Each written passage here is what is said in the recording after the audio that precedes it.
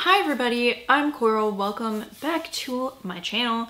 I'm here today with the books that I got in December. Some of them were Christmas gifts, some of them were subscriptions from subscription boxes, and that's about it.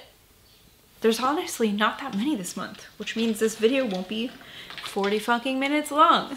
Okay, the first one here is from Thrift Books. I think this was like a leftover from an order I made last month and it just didn't make its way before I filmed that video.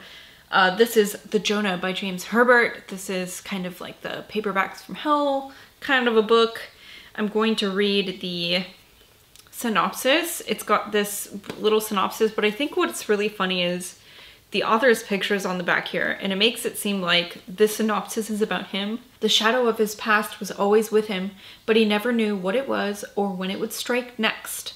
Sent to a small coastal town to investigate drugs smuggling, Kelso, wait, it says drugs smuggling, which makes it seem like the drugs are smuggling. Um, that's funny. Okay, sent to a small coastal town to investigate drugs smuggling. Kelso stumbles onto a dangerous organization and suddenly more than just his life is at stake. It's his past, his future, his sanity. Through the torture and drugs, he discovers the terrifying secret of the Jonah and learns in the most horrifying way that it can destroy him as well as others. The Jonah. I also like that. This was a buck 50 in the UK when it came out amazing. This um, was published in the 80s. James Herbert is, I think, most well known for The Rats, which I have not read. I've, I've not read any of his books, so someday I'll get to this one. I do really love these creepy, like, fetus stories. There do seem to be a lot of them that came out in the 80s. Okay, the, the next couple here were Christmas gifts. First I have The Lies of Locke Lamora by Scott Lynch. These are from Zach and um, he gave them to me early. So it is a couple days before Christmas, but these are my Christmas books. This one, man, I've been looking for a used copy of this for forever. I've really been interested in it. Um, I know this goes on to be like a series and I've just heard good things from the people who've read it. This is about Locke Lamora and he is an orphan and he is like tutelaged he's tutored in the in the arts of like lockpicking and thievery and he ends up being like I don't know a dude who runs a group of thieves. And this really sounds like Lamora sounds like somebody you'd find at like the what do they call it? What do they call the thieves guild place in Skyrim. It's like the rats something. Anyways he'd be living under Riften. It's, oh my gosh, I've played Skyrim for hundreds of hours. I can't believe that I'm having so much trouble with this, but he'd be in Riften. He'd be the leader of the Thieves Guild. I really think that this is, you know, this is a guy who would be in the Thieves Guild, okay? And I'm excited to read this. The next one here is a what the beginning of a YA like fantasy romance series that I've wanted to read.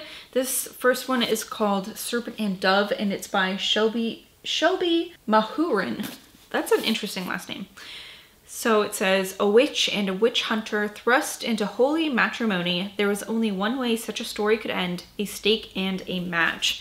And I think that, I don't know, I, I don't know for sure, but I'm anticipating this has one of my very favorite YA tropes where it is enemies, a really good enemies to lovers type of a thing.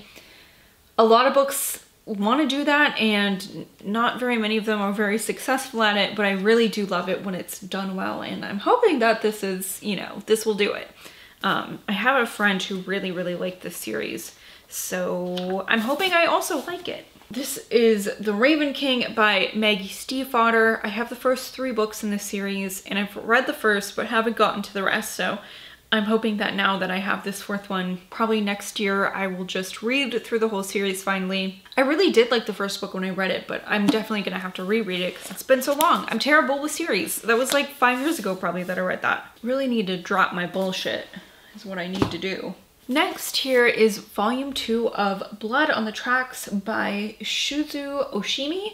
and I don't really know much about this series. I have the first one and I was like looking over the synopsis of this because they were so, so brief. Like I just don't, I can't tell you what this is about because I haven't read the first one, but I really want to.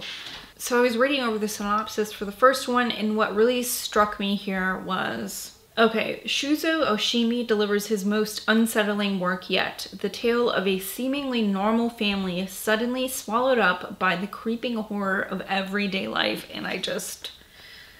I mean, this is... I'm, I'm doing it now. I'm putting this on my list for January. I'm so excited to read this, and, um, you know, I can read the first two volumes. There are definitely a couple more. Okay, and the last one I got as a Christmas gift is the one that I'm probably most excited for. This is Getaway by Zoje Stage. She wrote Baby Teeth, which I really liked, and Wonderland, which I really did not like. This one really sounds interesting. This is about um, two sisters and their mutual friend, and they're like trying to kind of reconnect with each other and they go to the Grand Canyon and it turns into some sort of survival story, which is, oh, oh, my favorite. And you know, because they're sort of estranged from each other, like tensions are going to be high. And I'm just, this is a book that's written for me. And I'm really hoping I like this as much as I liked Zoje Stage's very first book, Baby Teeth.